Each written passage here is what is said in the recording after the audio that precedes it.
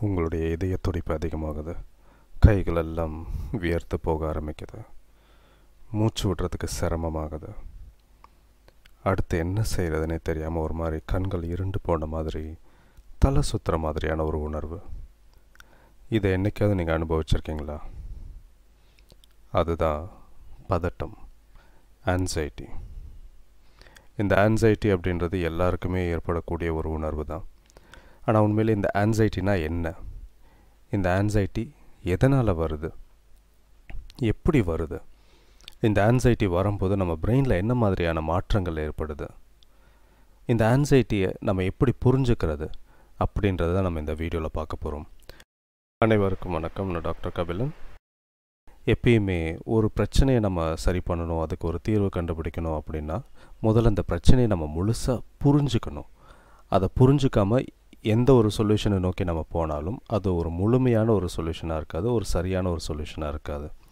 அதனால் ஆன்சைட்டிக்கான தீர்வு என்ன? பதட்டத்துக்கு என்ன தீர்வுன்றதை பார்க்குறதுக்கு முன்னாடி பதட்டம்னா என்ன? உண்மையிலேயே பதட்டம் ஏற்படும் போது என்ன நடக்குது அப்படின்றது நம்ம இன்றைக்கி அந்த பதட்டத்தை புரிஞ்சுக்க தான் போகிறோம் ஸோ இந்த வீடியோவில் அந்த பதட்டம்னா என்னன்றதை பற்றி முழுமையாக நம்ம புரிஞ்சுக்க போகிறோம் ஃபர்ஸ்ட் ஆஃப் ஆல் ஆன்சைட்டி அப்படின்றது வந்து பார்த்திங்கன்னா நம்ம உடலுடைய ஒரு எதிர்வினை அப்படின்றதான் சொல்லணும். ஒரு ஸ்ட்ரெஸ்ஃபுல்லான ஒரு சுச்சுவேஷனில் நம்முடைய உடம்பு எப்படி ரியாக்ட் பண்ணுது? அந்த ரியாக்ஷன் அந்த ரெஸ்பான்ஸ் தான் வந்து பார்த்திங்கன்னா ஆன்சைட்டி பதட்டம்.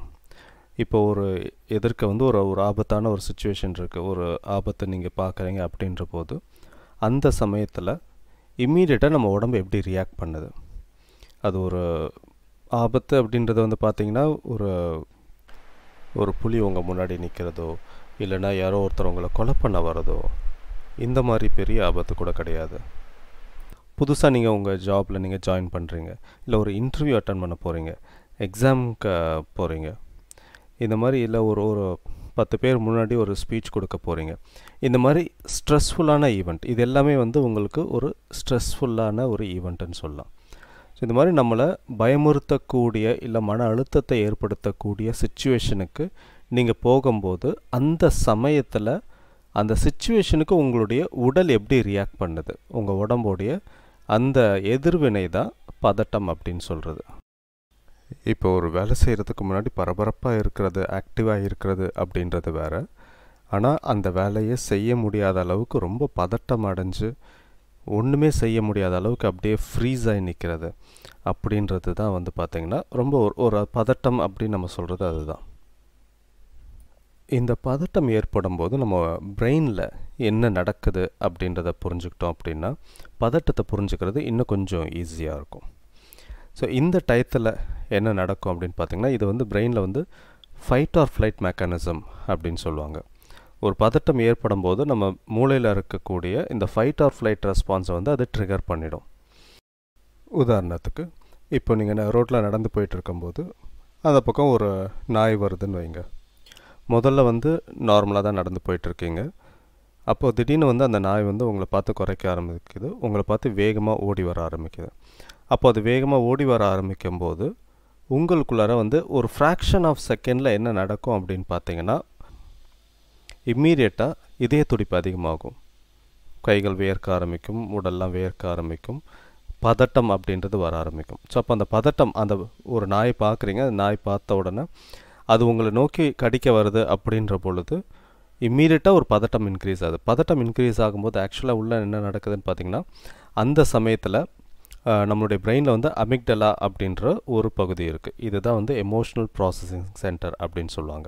ஸோ எமோஷன்ஸ் எல்லாம் ப்ராசஸ் பண்ணக்கூடிய ஒரு பகுதி தான் அமிக்டலா இங்கே வெளியில் ஒரு ஆபத்தை நீங்கள் பார்த்த உடனே அமிக்டலா வந்து உங்களுடைய பிரெயினுக்கு வந்து ட்ரிகர் பிரெயினில் இருக்கக்கூடிய இந்த ஃபை ஃபைட் ஆஃப் ஃப்ளைட் ரெஸ்பான்ஸை ட்ரிகர் பண்ணிவிடும். ஸோ அப்போ என்ன நடக்குது அப்படின்னு பார்த்தீங்கன்னா இம்மீடியட்டாக உங்கள் பிரெயின் வந்து ஸ்ட்ரெஸ் கெமிக்கல்ஸ் அப்படின்னு சொல்லக்கூடிய கார்டிசால் அப்புறமா ஆட்ரினாலின் இதை வந்து செக்ரேட் பண்ணும். இந்த ஆட்ரினாலின் முக்கியமாக ஆட்ரினாலின் செக்ரேட் ஆகும்போது என்ன நடக்கும் அப்படின்னு பார்த்தீங்கன்னா இதுதான் ஃபைட் ஆர் ஃப்ளைட் அதாவது ஒரு ஆபத்து இருக்குன்னா ஒன்று அந்த ஆபத்தோடு நீங்கள் சண்டை போடணும் இல்லைன்னா அந்த ஆபத்தை விட்டு ஓடி போகணும். சண்டை போடுறதுக்கும் சரி ஓடி போகிறதுக்கும் சரி ரெண்டுத்துக்குமே உடம்புக்கு அதிகப்படியான ஒரு சக்தி தேவை ஒரு எனர்ஜி வேணும். அப்போ அந்த எனர்ஜி நார்மலாக நம்ம சும்மா இருக்கும்போது அந்த எனர்ஜி இருக்காது. இந்த அட்ரினாலின் செக்ரேட் ஆகும்போது தான் அந்த எனர்ஜி அதிகமாகும். அப்போ அந்த எனர்ஜி எப்போ அட்ரினாலின் எப்போ அதிகமாகுதுன்னு பார்த்தீங்கன்னா ஒரு ஆபத்தை நீங்கள் பார்க்கும்போது தான். சும்மா உட்காந்துட்டு இருக்கும்போது நமக்கு வந்து இந்த எனர்ஜின்றது அந்த அளவுக்கு தேவைப்படலை. ஸோ நம்ம உடம்பு நமக்கு எப்போ எது தேவையோ அதை கரெக்டாக செய்யும். சும்மா உட்காந்துட்டு இருக்கும்போது நமக்கு அதிகப்படியான எனர்ஜி தேவைப்படாது அப்படின்றதுனால அப்போ நம்ம அமைதியாக இருப்போம். ஆனால் வேகமாக ஓடும்போது தான் அதிகமான எனர்ஜி தேவைன்னு சொல்லி அப்போ அந்த எனர்ஜிக்கு என்ன தேவையோ அந்த கெமிக்கல்ஸ் எல்லாம் பிரெயின் செக்ரேட் பண்ண ஆரம்பிக்கும். இப்போ ஒரு நாய் துரத்தும் போது இது வந்து நமக்கு ஒரு ஆபத்து அப்படின்னு சொல்லி உங்களுடைய மைண்டு வந்து உங்கள் பிரெயினுக்கு சிக்னல் கொடுக்குது. உடனே பிரெயின் வந்து வேகமாக ஓடுறதுக்கு அட்ரினாலின் அப்படின்ற ஒரு கெமிக்கலை வந்து செக்ரேட் பண்ணும். ஸோ அப்படி செக்ரேட் பண்ணும்போது உங்களுக்கு அதிகமான ஒரு எனர்ஜி எனர்ஜி வரும்போது வேகமாக உங்களால் ஓட முடியும். ஸோ அப்படி வேகமாக ஓடுறதுக்கு தேவையான அந்த கெமிக்கல் செக்ரேஷன் இதுதான் வந்து ஃபைட் ஆர் ஃப்ளைட் ரெஸ்பான்ஸ்னு அப்படின்னு சொல்கிறது இப்போ வந்து நீங்கள் வந்து மோஸ்ட்டாக நிறைய பேர் நாயோட சண்டை போட மாட்டோம். நம்ம ஓடி தான் போவோம். சில பேர் வந்து இது இது இப்போ இது நாய் இல்லாமல் வேறு ஏதோ ஒரு ஆபத்து இல்லை ஒரு ஒரு ஒரு திருடன் வரான். இல்லை ஒருத்த வந்து உங்களை கொலை செய்ய வரான் அப்படின்ற போது சில பேர் நல்ல சண்டை போடக்கூடியவங்க சண்டை தெரிஞ்சவங்க அவனோட சண்டை போடுவாங்க. சண்டை போட தெரியாதவங்க ஓடி போவாங்க. ஸோ சண்டை போடுறதுக்கும் அதிகமான எனர்ஜி வேணும்.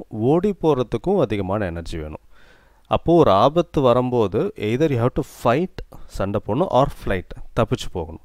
இது ரெண்டுத்துக்குமே அதிக எனர்ஜி தேவை அப்படின்றதுனால உங்களுடைய பிரெயின் வந்து இந்த அட்ரினாலின் அப்படின்ற கெமிக்கலை செக்ரேட் பண்ணும். அட்ரினாலின் அதோட ஸ்ட்ரெஸ் ஹார்மோன் சொல்லக்கூடிய கார்டிசால் இதெல்லாம் செக்ரேட் பண்ணும். இதுக்கு இந்த மெக்கானிசம் தான் வந்து ஃபைட் ஆர் ஃப்ளைட் இந்த சமயத்தில் தான் வந்து பார்த்திங்கன்னா உங்களுடைய ஹார்ட் பீட் ரைஸ் ஆகும். இதய துடிப்பு அதிகமாகும். கை க உள்ளங்கை கைகள் உடல்லாம் வேர்க்க ஆரம்பிக்கும். கொஞ்சம் வே ஓடுறோம் அப்படின்ற போது மூச்சு வாங்க ஆரம்பிக்கும். அண்டு அந் அடுத்த ஒரு சில நிமிடங்களுக்கு உங்களுக்கு எதுவுமே தோணாது. வேறு எதை பற்றியுமே யோசிக்க முடியாது. மைண்டு ஃபுல்லாக வந்து பார்த்திங்கன்னா நீங்கள் எதர் ஃபைட்லேயோ இல்லை ஃப்ளைட்லேயோ இந்த மோடில் தான் இருக்கும். இந்த விஷயத்தை தான் வந்து நம்ம ஃபைட் ஆர் ஃப்ளைட் ரெஸ்பான்ஸ் அப்படின்னு சொல்கிறோம் ஸோ இதுக்கு மெயினான ஒரு ரீசனே வந்து பார்த்திங்கன்னா ஆல்ரெடி சொன்ன மாதிரி அந்த அமிக்டலா அந்த அமிக்டலா அப்படின்ற அந்த ஒரு உறுப்பு வந்து ஓவர் ரியாக்ட் பண்ணுறது அப்படின்றது தான் சொல்லணும். ஆன்சைட்டி அப்போ அந்த அந்த அமிக்டலா ஓவர் ரியாக்டிவ் ஸ்டேட்டுக்கு போயிட்டு இந்த ஹார்மோன்ஸை செக்ரீட் பண்ண சொல்லி அது சிக்னல் அனுப்பும். பிரெயினுக்கான ஒரு சிக்னல் அனுப்பும். ஸோ ஸோ தட் இது வந்து நல்ல விஷயம் தான் ஏன்னா இது வந்து உங்கள் உடலை தயார்படுத்தும். ஒன்று ஃபைட் பண்ணுறதுக்கோ இல்லைன்னா ஃப்ளைட் பண்ணுறதுக்கோ அந்த பிரச்சனையை இல்லை அந்த ஒரு ஆபத்தை நீங்கள் ஃபேஸ் பண்ணுறதுக்கோ இல்லைன்னா அந்த ஆபத்துலேருந்து தப்பிச்சு போகிறதுக்கோ உங்கள் உடலை தயார்படுத்துறதுக்கு தான் இந்த அமிக்டலா அப்படின்றது உங்கள் பிரெயினுக்கு சிக்னல் கொடுத்து இந்த கெமிக்கல்ஸை செக்ரேட் பண்ண வைக்குது. இந்த பதட்டம் இருக்கும்போது நம்ம பிரெயினில் இன்னொரு விஷயம் என்ன நடக்கும் அப்படின்னு பார்த்தீங்கன்னா பிரெயினுடைய ஒரு பிரெயினில் வந்து ப்ரீஃப்ரண்டல் கார்டெக்ஸ் அப்படின்னு சொல்லிட்டு ஒரு பகுதி இருக்குது இதுதான் it is responsible responsible for rational thinking சொல்லுவோம் ஒரு ஒரு பகுத்தறிவு ஒரு அலசி ஆராயக்கூடிய ஒரு சிந்திக்கும் திறன் அப்படின்றது இந்த ப்ரீஃபரண்டல் கார்டெக்ஸில் இருக்குது இது வந்து பார்த்திங்கன்னா கம்ப்ளீட்டாக பிளாக் அவுட் ஆகிடும் ஸோ இந்த இடத்துக்கு வந்து பார்த்திங்கன்னா எந்த சிக்னலும் போகாது. இது டோட்டலாக வந்து ஷட் டவுன் ஆன மாதிரி அந்த ஒரு குறிப்பிட்ட சமயத்துக்கு ஒரு ஃபியூ செகண்ட்ஸ்க்கு வந்து அது ஆஃப் ஆன மாதிரி இருக்கும். அதனால தான் வந்து பார்த்திங்கன்னா நீங்கள் ரொம்ப பதட்டத்தில் இருக்கும்போது உங்களால் தெளிவாக யோசிக்க முடியாது. ஒரு பதட்டமான ஒரு சூழ்நிலையில் தெளிவாக யோசிக்கிறதுன்றதே ரொம்ப கஷ்டமான ஒரு விஷயமா இருக்கும். ஏன்னா அந்த ப்ரீஃப்ரண்டல் கார்டெக்ஸும் வந்து டோட்டலாக ஷடோனான ஆன அந்த ஒரு ஸ்டேஜுக்கு போயிடும். அந்த சமயத்தில் நம்மளால் தெளிவாக யோசிக்க முடியறதில்ல. அதனால தான் ஒரு ரொம்ப இர்ரேஷ்னலாக நம்ம நடந்துக்கிறதுன்றது அப்படி தான் ஏன்னா அது வந்து ஒரு ஒரு லாஜிக்கல் பிரெயின் வந்து அந்த இடத்துல வேலை செய்யாது.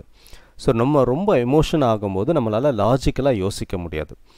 எமோஷன்லேருந்து வெளியில் வந்ததுக்கப்புறம் தான் தெரியும் நம்ம எந்த அளவுக்கு இல்லாஜிக்கலாக இர்ரேஷ்னலாக நம்ம நடந்துக்கிட்டோம் அப்படின்றது. ஸோ அந்த எமோஷன்ஸ் ந இருக்கும்போது அந்த ஆன்சைட்டி இருக்கும்போது பதட்டத்தில் இருக்கும்போது நம்மளால் தெளிவாக யோசிக்க முடியாது லாஜிக்கலாக யோசிக்க முடியாது. எது சரி எது தப்பு அப்படின்ட்டு ரொம்ப தெளிவாக நம்மளால் யோசிக்க முடியாது. இந்த பதட்டம் ஏற்படுறதுக்கு ஒரு முக்கியமான ஒரு காரணி அப்படின்னு பார்த்தீங்கன்னா ஸ்ட்ரெஸ்ஃபுல்லான ஈவெண்ட்ஸ் இப்போ ஏற்கனவே கொடுத்த உதாரணம் மாதிரி ஒரு நாய் துரத்தது அப்படின்னா அது ஒரு ஸ்ட்ரெஸ்ஃபுல்லான ஒரு ஈவெண்ட் இப்போ நம்ம வண்டியில் போயிட்டுருக்கோம். சடனாக இன்னொரு குறுக்க ஒரு வண்டி வந்துச்சு. இல்லை குறுக்க யாரோ நடந்து போயிடுறாங்க அப்படின்ற போது அப்போது அந்த ஒரு ஃபியூ செகண்ட்ஸ்க்கு வந்து நம்ம இம்மீடியட்டாக ஒரு ஆன்சைட்டி அட்டாக் வரும். பதட்டமாகிறது. அது எல்லாமே வந்து சின்ன சின்னதாக ஏற்படக்கூடிய ஒரு பதட்டங்கள். இது தாண்டி வந்து பார்த்திங்கன்னா இப்போ நீங்கள் ஒரு ப்ரெசன்டேஷன் கொடுக்க போகிறீங்க அப்படின்ற போது அந்த சமயத்தில் ஒரு பதட்டம் ஏற்படும். உங்களுடைய பாஸ் நீங்கள் போய் மீட் பண்ண போகிறீங்க அவர்கிட்ட பேச போகிறீங்கன்றப்போது அப்போ ஒரு பதட்டம் வரும். இல்லை ஒரு ஒரு முக்கியமான ஒரு வேலை செய்ய போகிறீங்க அந்த வேலை வந்து ஒரு ரொம்ப ஒரு சீரியஸான ஒரு இஷ்யூ அப்படின்ற போது அது செய்யறதுக்கு முன்னாடி உங்களுக்கு அந்த பதட்டம் வரும். ஸோ இந்த மாதிரி ஸ்ட்ரெஸ்ஃபுல்லான ஈவெண்ட் வந்து உங்களுக்கு வந்து பதட்டத்தை க்ரியேட் பண்ணும். இன்னொரு ரீசன் என்ன மேஜரான ஒரு ரீசன் என்னன்னு பார்த்தீங்கன்னா காக்னேட்டிவ் ஃபேக்டர்ஸ் அப்படின்னு சொல்லுவோம். அதாவது அறிவு சார்ந்த காரணிகள் அப்படின்றது. இது என்ன அப்படின்னு பார்த்தீங்கன்னா நமக்கு இருக்கக்கூடிய ஒரு நெகட்டிவ் திங்கிங் பேட்டர்ன்ஸ் எது நடந்தாலுமே வந்து பார்த்திங்கன்னா நெகட்டிவாகவே யோசிக்கிறது.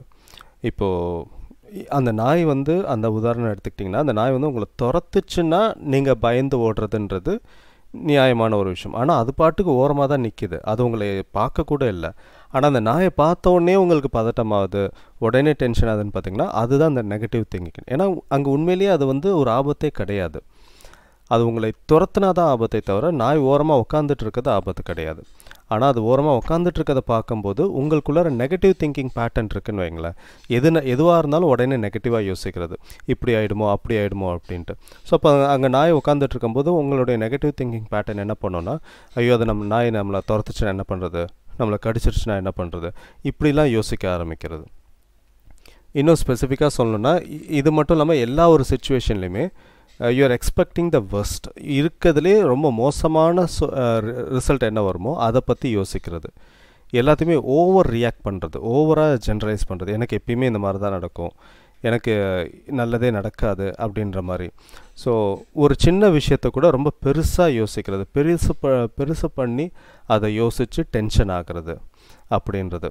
ஒரு நம்ம பஸ்ஸுக்காக வெயிட் பண்ணுறோம் ஒரு வழக்கமாக வர டயத்தை விட பஸ் ஒரு அஞ்சு நிமிஷம் லேட் ஆகுது அப்படின்னாலுமே கூட இமீடியட்டாக ஐயோ போச்சு நான் பஸ்ஸை மிஸ் பண்ணிட்டேன் போல் இருக்கு இன்னைக்குன்னு பார்த்து பஸ்ஸு சீக்கிரம் போயிடுச்சு போல் இருக்கு அவ்வளோதான் இனி எனக்கு இன்றைக்கி போக முடியாது. ஒரு மேபி ஒரு முக்கியமான வேலைக்கு போகிறீங்க அப்படின்னா நான் லேட்டாக தான் போவேன் இனிமேல் பாஸ் என்னை திட்டுவார் அப்படின்னு ஏதாவது அதாவது ஒரு ஒரு அஞ்சு நிமிஷம் தான் பஸ்ஸு லேட் ஆகுது ஆனால் அதுக்கு அந்த அஞ்சு நிமிஷத்துக்குள்ளே எக்ஸ்ட்ரீமான கண்டிஷன் எல்லாத்தையுமே யோசிக்கிறது.